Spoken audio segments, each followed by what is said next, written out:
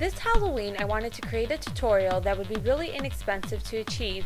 So in this tutorial, I will be showing you how to recreate this Lady Gaga inspired Born This Way skeleton using just a black eyeliner pencil.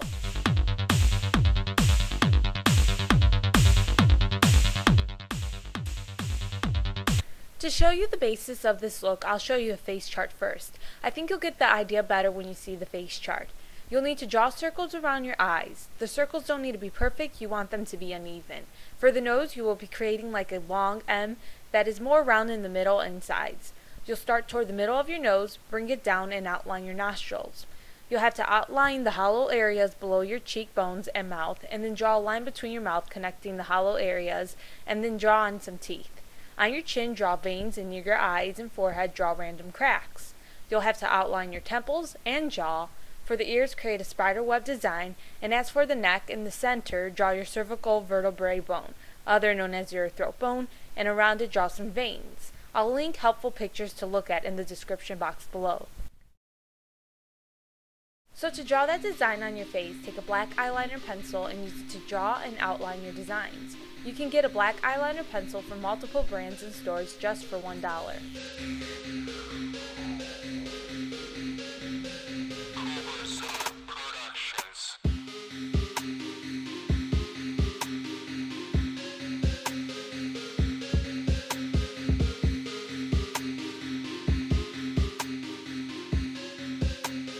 You're going to smudge out the hollow areas and the ends of your sharp lines from your designs. It's up to you to choose what you want to use. I used the back of a paintbrush at first, but then later on I decided to use an angled eyeliner brush just because it was softer.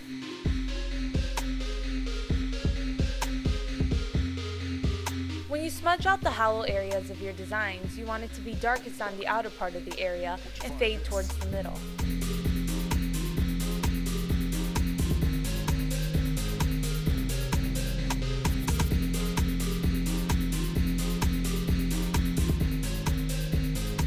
It's up to you where you want to place random shadows on your face, but make sure you have them on the hollow areas like I said, and then on your teeth that you drew and below them. This helps give dimension to the look.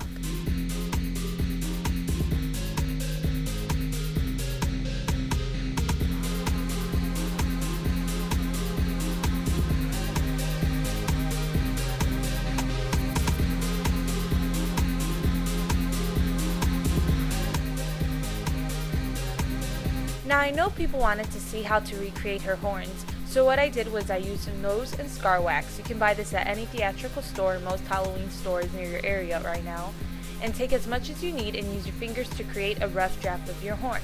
Now take some liquid latex and apply it to the area you will be applying the horn. Once the liquid latex is almost dry, apply the piece of wax to that area and blend the edges of the wax into your skin using your fingers. You can use a moisturizer if you like to help smooth out the wax.